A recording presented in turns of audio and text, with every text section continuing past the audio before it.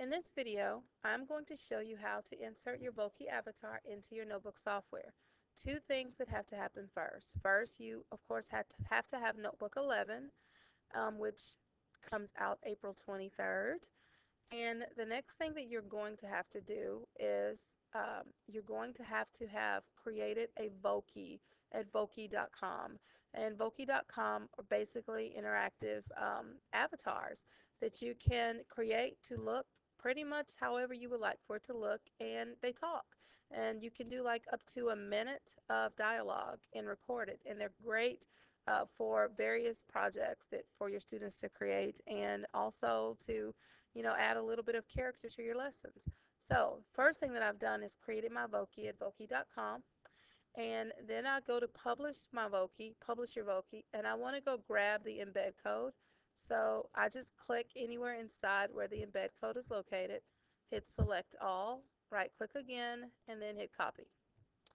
The next thing that I want to do is go to the Smart Exchange and make sure you've downloaded Voki. So when I go into the Smart Exchange, this is the way it looks, and I want to download the Voki widget, and I'm just going to type in Voki and hit search.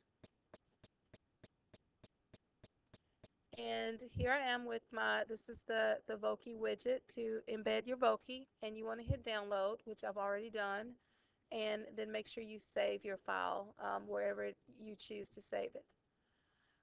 Next thing that you want to do is open up your Notebook 11 software and I'm going to go to a brand new page and I want to go to my gallery and of course it's not there yet. Well mine is but here's how you get it inside get your Voki um, widget inside of your gallery. You want to go to the drop down in my content and you want to go to add to my content.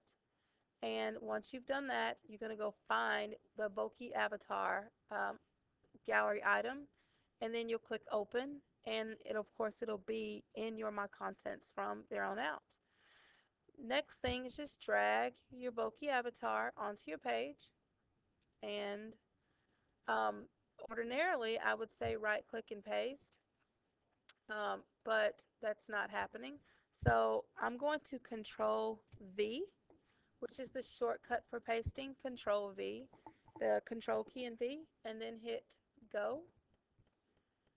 And my Voki is on my page now what I did to kind of camouflage the white background is either you can have a white background behind it entirely or I just created a white box and uh, fixed it so that it's underneath my uh, my Voki image and so that way it looks like it's just sitting in its own little white container. So that's how you quickly add a Voki avatar to your Notebook 11 software.